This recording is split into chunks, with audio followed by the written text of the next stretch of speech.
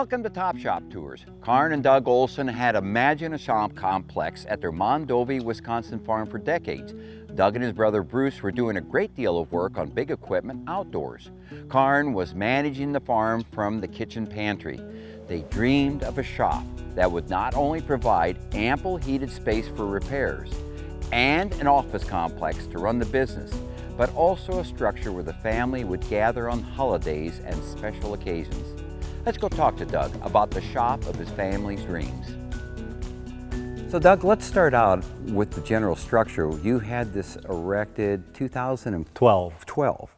And you went with a structure that was what size again? 80 by 125 by 20. And it's a clear span building. Clear span building. Right. 20 foot sidewalls. Now I got to ask about that because some guys, there's a debate. It used to be 14, then it was 16 inch si or foot sidewalls.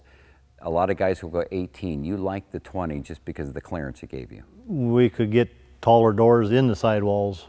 Our, our drive-through doors are 17 feet, so we never have a trouble of hitting them. So talking about doors, I love the floor plan you have with your door arrangement here. Why don't you walk through the building and how you did that? Now, facing towards the east, right? Yep. On the doors over here. Start yep. there. Uh, I don't know. It's just kind of what we wanted, I guess. Uh, right. We figured we needed a drive-through. The door is 24 by 17. Okay. And so we can drive two semis through at the same time if we want. And these are opposing on the side yep, walls east and shop. west. And then off the end wall, that is a larger yep. uh, overhead door yep, than that 30 by 18. And that's where you bring the planter in or the combines? Combines, mainly combines. And, and planters, I guess, yeah. You got to talk about the windows because we do have windows on the doors. Yep. But you put your windows and rather large windows at the top of the building. Explain why. For light. Light and a little bit of solar heat in the wintertime.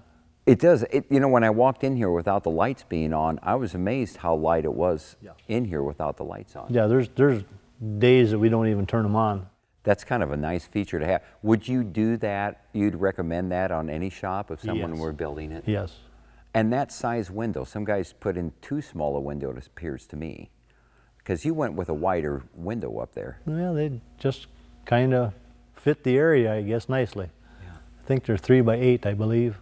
Now the other thing is when we came in that I found unique, and I've only seen this in a couple other shops, you kind of almost have a living area right outside the office with a television. And that's something you can clear away if you have to. If, if we have to, yeah. In front of our 20 foot door, if we need to get something in there, or seriously, we can move all that out of the road and, and use it. Well, your kids come over quite a bit. Oh, yeah. And you've got at least one grandchild. Yep, one grandson and then they come over here and play then. Oh yeah. Again, the the shop almost became kind of partly living quarters, isn't it, in a way? I mean, where family and friends will gather here. Not that you're living here, but you're entertaining, you bring people out. It's a multi-purpose building. It's a, yeah, that's a good description of it. Here's a great idea to consider if you are building a shop or modifying an existing structure. The Olsons partitioned off a corner of their shop to create this parts room that not only holds a wealth of parts, but everything else from lubricants to tools. And that was kind of the nice thing about the other feature in that you have in the shop because it's a nice way to put stuff away, and that's the parts room and the tool room that you have in the yeah. other corner. Yep. Explain what size room is that and, and what all goes stored in there? I don't even know the size of it, but uh, some of our larger socket sets and tools and def stored in there and oil and it's kind of a catch-all room too, I guess. Right. On the opposite corner of the shop, that's kind of your, if there's a, there is no such thing as a fixed workbench here. You put everything on wheels. Everything is on wheels. We use rolling benches to roll out the projects we're working on and and then our, our waste oil is in that corner and we kind of store the torch and the welder over there and yeah and we use it where it's needed as needed. The two other things that I noticed here, and this is the second time I've seen this in a farm shop, the scissors lift that you had. Oh yes. And you got to tell me about this. This was one of those things you don't normally see in farm shops, but it, uh, well, kind of an indispensable tool. Yes, well, we use it on the combines, uh, tractor cabs, on the roofs and stuff, and and especially the semi trailers for tarps and and everything like that. It's much safer than a rolling ladder or anything. And the other thing was your floor cleaner. Now I begin to see more of these in farm shops, you, but yours is a, and I, most of them are just kind of vacuum units, right? This is water and vacuum. Okay, the advantage to that is? Well, it wets the dust down and sucks it up at the same time. Oh, okay. Kind of a Zamboni for, for Yeah. shop floors then. Yep. There isn't too much that Doug would change on his shop, except to add to the length of the overhang from four to six feet and to go with 42 inch wide service doors. So Doug, if you had to change anything, My service doors. how so? There's 36 inch doors. I would put in 42s Oh, really? just for the ease of getting things through them. Oh. An extra six inches to roll the, to roll the steamer through, to roll the welder through, tool cart, just anything. I would have 42 inch doors. I've seen some guys starting to do that in their farm shop with the extra wide service door or passageway door. Uh, the gentleman we bought the building from, he had a, another client here to view the building, and he asked me what I would change, and I said about the only thing I would change is my service doors to 42 inch doors. And the gentleman we bought the building from, he goes, "Yep, that's what we're recommending now." The Olsons gave a lot of thought to what would become their farm's headquarters. Karn's going to give us an overview of their shop office complex.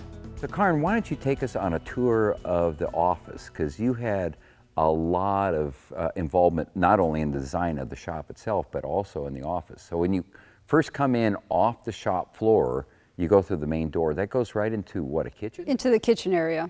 So, what did you all put in the kitchen area? Is it a full service kitchen? It's a full service kitchen. And you will use this then for your noon meals or Yes. whenever it's necessary? Whenever ne- necessary, correct. And then your office is in there. Yes, my office is in there, So that's where all the hard work takes place then. right? And when you put that together, what were you looking for? What kind Just of, a layout, something easy, so I had a lot of uh, counter space to work with. So when you have a project going, you're always waiting for another piece of information so you can leave it lay. and a really neat idea that I've yet to see in a shop office, and that's your file room. Correct. What a cool idea that is. Where'd you come up with that? Um, I happened to be offered the file cabinets. Oh, the filing cabinets came first then. The filing cabinets came first before the shop was even built. Happened to be at the same time we were building the shop. Yeah. And we kind of tried to work them in there, and it turned out. Harn, one of the ideas that I, I had liked, and that's where you put a sink outside in the shop, and that was mostly to keep people from tramping into the bathroom and dirtying Right. it up. Right. Keep the guys outside in the shop with all their grease and dirt and all that, and make the mess out there before it takes it into the into the bathroom area. And you just didn't put an old wash tub out there. You, No. You kind of wanted it to be used underneath Yep. as well. Yep. So we have storage underneath to put all the cleaning stuff and rags and stuff like that in there.